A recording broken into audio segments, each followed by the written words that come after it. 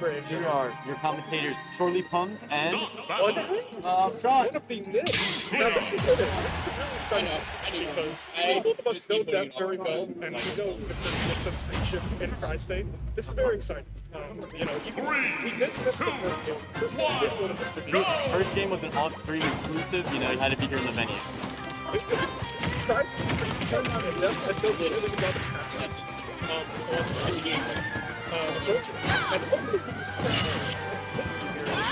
Yeah. And that has always been, you know, like, the game in the uh, as I would put it. This kid puts a lot of time into the game. He gets that Absolutely. Right now, Mr. E keeping off but Deaf comes back with a It's nice reversal. Yeah. Punishing it off guard. I also really like this. You know, the scene, and immediately Mr. turns the right back. Right back, 0-0, two stocks left. It seem very menacing, uh, but you gotta be kind of careful when we see this coming up. He's kind of one of the few characters that if you see it coming up, he can throw something crazy like that. So I don't think that's an option there, going for a full hop paradigm. Yeah. It seems kind of silly, but in the moment it actually kind of worked. Even though that decision ended up giving Mr. Dio all that stage control that ended up costing him the stock, it still shows that he's thinking about, okay, well, I don't want to get hit by some random respawn black over there. Absolutely. Yeah. Lucina's a character with very good, very good, like, just very, pretty decent everything, you know? No no gimmicks, no nothing. You just got a sword and your attacks are pretty damn good. And that's doing a really good job right now with the sledge trapping, especially on Kalos kind of helping him too. Um, dash attack with punish. Mm, goes back grab. Mr. E with the pivot grab, throwing Deaf off stage. He wanted to Deaf roll comes right back up with the roller, like, not gonna connect. Two parries back to back. Kind of see. Uh, the, yeah, the Jet kind of had a similar. The Deaf almost had the read there. He saw the air dot, and he wanted to try to catch him landed, but that roller kind of, kind of mistimed and Yeah. just unfortunate. Deaf's low on ink right now. Let's see if he's gonna try to, you know, keep the advantage or if he might have to give it up a little bit to regain some ink. Never missed.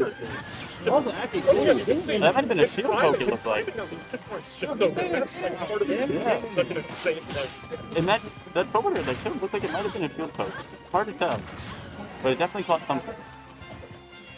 Mr. E looking a bit steamy over here to see if Deaf can finish this off. Jab?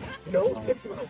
You see, something that excels at is actually setting up tick throws, um, which for, you know, Smash people that may not know what that means, essentially when you set up a jab into like a jab uh, to kind of confuse them or thinking they're going to keep jabbing or do something else. Alright, Mr. E still holding on to it. Two stops. And uh, Deaf is racking up in the percent. This could be dangerous for Deaf. This could be dangerous. Mm. Goes, goes for the stop pocket there. Didn't want to, didn't want to tempt fate a little bit too much. Mr. E is staying alive. And Deaf has been low on ink almost this entire set with Mr. E keeping the pressure on. Did not get the forward smash out in time for the up B, and then Mr. E takes the top. See, that was that was a good definitely a lot of free combos there. Mr. E, however, keep it keep up to his pay. I just you know, that. really executed that match well, calling out a lot of Deaf's uh, options at disadvantage. Um, and even doing some really nicely timed approaches too. Yeah. Uh, it's a shame that S- Stream didn't get to see that first Game match one, because yeah. Deaf did keep it closer in that first match. That was Yeah. that would have been insane. Pretty much a last scenario there.